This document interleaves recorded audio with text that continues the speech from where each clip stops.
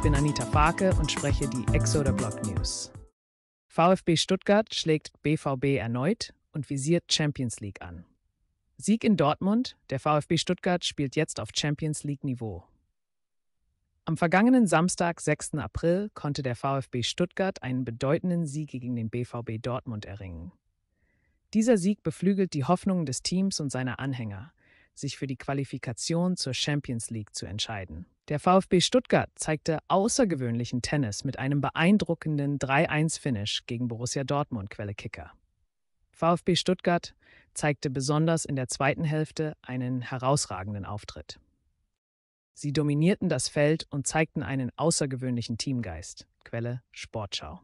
Das erste Tor geschah in der 15. Minute dank einer brillanten Leistung von Sasa Kalajdzic, gefolgt von einem formidablen Tor von Silas Wamangituka in der 40. Minute.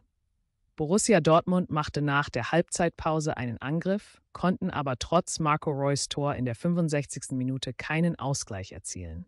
Der VfB Stuttgart hat jetzt eine starke Position in der Rangliste und hat das Potenzial, sich für die nächste Saison für die Champions League zu qualifizieren, was ein großer Erfolg und ein großer Sprung für das Team wäre.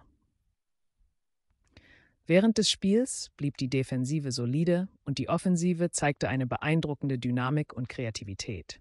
Der Sieg des VfB Stuttgart über den BVB Dortmund unterstreicht den Phönix aus der Asche Weg, den das schwäbische Team in letzter Zeit gegangen ist und wird den Rückhalt und den Zuspruch der Fans des Teams stärken. Sportbild. Es bleibt abzuwarten, wie sich der VfB Stuttgart im nächsten Spiel gegen den FC Bayern München halten wird. Aber nach solch dynamischen Leistungen in den letzten Spielen wird die gegnerische Seite sie sicherlich nicht unterschätzen. Autor Anita Farke, veröffentlicht am Samstag, 6. April 24. Danke fürs Zuhören. Denk immer an eine möglichst nette Bewertung, um uns zu unterstützen.